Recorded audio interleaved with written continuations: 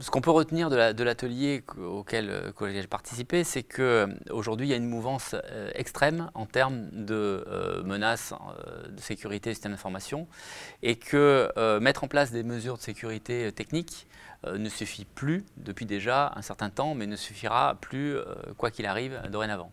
Donc il y a vraiment trois axes à trouver en équilibre. C'est des mesures de sécurité sur les hommes, puisque en fait la manipulation de la donnée, elle est faite en grande partie par des acteurs, euh, qui peuvent être d'ailleurs les professionnels de santé ou les patients aujourd'hui.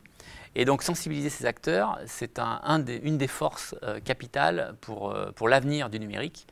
Le deuxième axe, c'est les process qu'on peut mettre en œuvre. Euh, je parlais tout à l'heure de, la gestion de crise, de la gestion des risques, être capable d'identifier, de mesurer et de choisir le traitement des risques. Donc ça, c'est, ce processus-là, c'est une démarche importante aujourd'hui à mener dans les structures de santé avec des méthodes d'analyse qui existent. Hein. La méthode EBIOS, qui est, qui est promue par euh, l'ANSI, hein, l'Agence nationale de sécurité des systèmes d'information, est une méthode qui va permettre justement de bien connaître et évaluer les risques. Et le troisième axe, euh, c'est la technique, ça reste la technique. Et ces trois axes sont équilibrés en fonction de, de quatre leitmotivs qui sont avoir une vision à moyen ou long terme, ça va être capable de se projeter à 2 ans, 3 ans, 5 ans.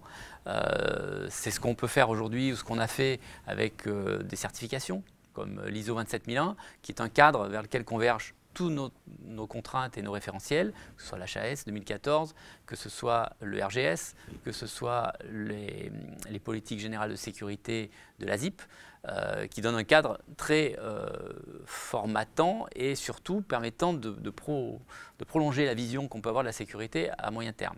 Donc cette vision est indispensable. L'autre leitmotiv, c'est le pragmatisme. C'est-à-dire que c'est bien d'avoir une vision, mais il faut être capable de baliser les étapes et que ces étapes soient euh, assimilables par l'ensemble des acteurs, professionnels de santé, patients, acteurs du système d'information. Donc des étapes peut-être modestes à chaque, à chaque fois, mais qui vont permettre de progresser en sécurité.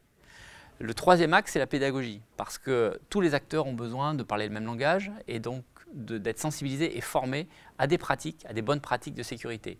En ça, l'ANSI nous aide beaucoup euh, parce que euh, produit un grand nombre de référentiels, la ZIP aussi. Euh, la CNIL aussi aujourd'hui a une démarche très pédagogique et donc cette pédagogie est indispensable si on veut justement agir sur les hommes. Et enfin, le quatrième axe, c'est l'agilité.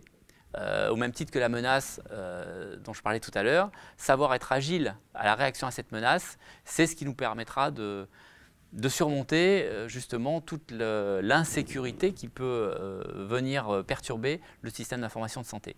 Et cette agilité, c'est souvent assez difficile de la faire tout seul, donc on a besoin de se regrouper. le GHT est un mode pour pouvoir justement avancer vers ça se regrouper au niveau national aussi.